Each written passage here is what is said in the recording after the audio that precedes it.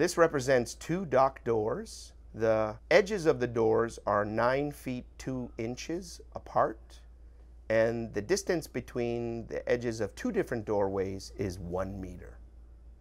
This represents a loading dock door. We have a pallet staged in front of the door, and that pallet contains items that have tags on it.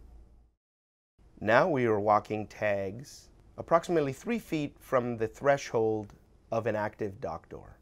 We're not going to report on any events. We will only provide information when those tags pass through the threshold in an outbound or inbound direction.